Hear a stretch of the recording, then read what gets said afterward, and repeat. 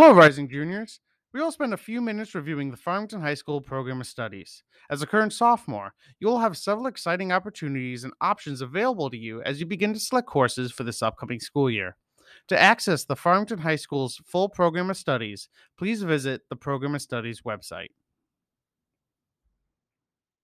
In accordance with Farmington Public Schools' vision of the global citizen, students will choose an intellectually challenging course load throughout high school, which will enable all students to become self aware individuals, empowered learners, disciplined thinkers, engaged collaborators, and civic minded contributors, reaching global standards of achievement, leadership, and citizenship upon graduation. As a reminder, in order to graduate from Farmington High School, you'll be required to earn a total of 25 credits. On the screen, you will see a breakdown of these 25 credits. You'll need to earn 9 credits in the humanities bucket. Specifically, you'll be required to take 4 credits of English, which amount to 1 total credit of English each year, 3.5 credits of social studies, which must include 1 United States history credit, 1 half credit of civics, either government and law or AP US government and politics, as well as 2 more years of social studies one credit of fine arts, new media, music, or theater. And lastly, you'll be required to earn one additional half credit in a humanities elective, which is a course beyond those already required above. You'll also need to earn a total of nine STEM content area credits. STEM stands for science, technology, engineering, and math.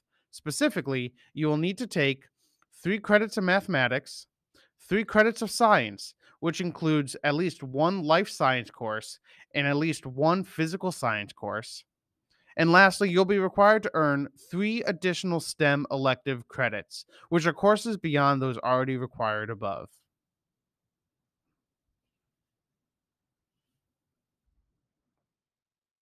In the physical education and wellness content area, you'll be required to earn one credit of physical education activity and one credit of health and wellness education. You will also be required to take at least one credit of a world language and pass the Farmington Language Standards Test, or FLST. Although only one credit of a world language is required, Farmington High School strongly recommends at least three credits of a world language. Students who plan to further their education after high school will greatly benefit from three credits of a world language, as many higher education institutions require a minimum of two to three years of a world language.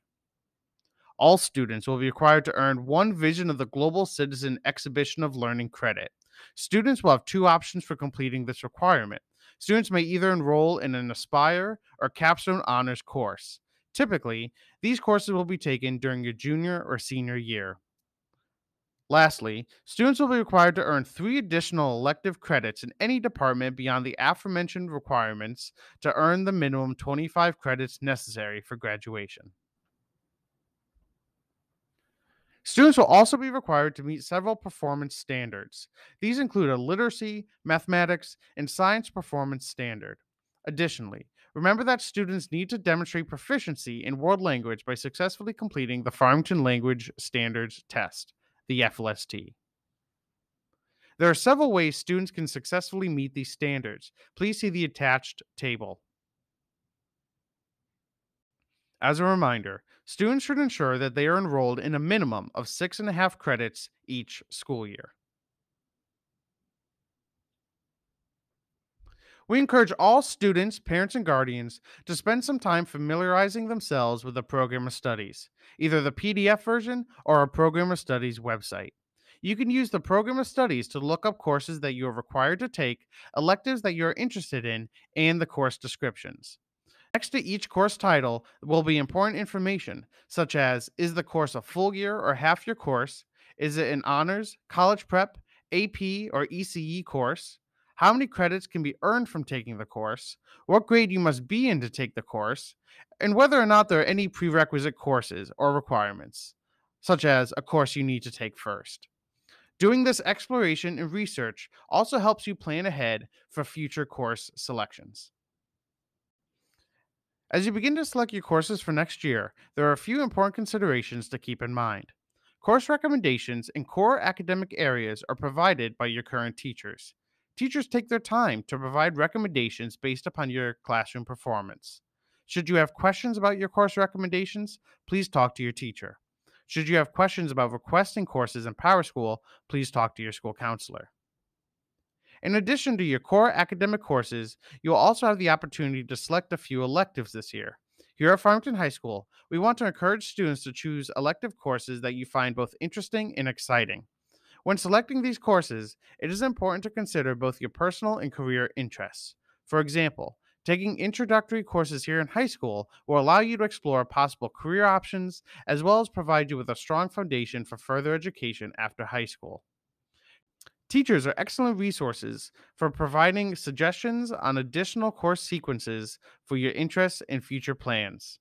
Additionally, during your individual junior conference, you will review your course selections with your school counselor.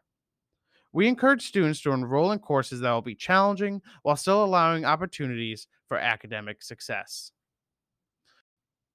Student course requests are the first step in building your schedule. Farmington High School prioritizes core academic courses required for graduation before scheduling electives. Please note that your course selection does not guarantee that your first choice elective course will be in your schedule. Here is a traditional 11th grade schedule. You will take one credit of English, either American Studies, American Literature, AP English Language, or AP English Literature. One credit of math, following the math sequence you are currently enrolled. One credit of science, either Biology College Prep, Biology Honors, or AP Biology. One credit of United States History, either American Studies or AP US History. A half a credit of Health Education and Wellness and then two to three elective credits, which may or may not include an additional year of world language or the civics requirement of either government and law or AP government and politics. We are very excited to share with you our Farmington High School Program of Studies website.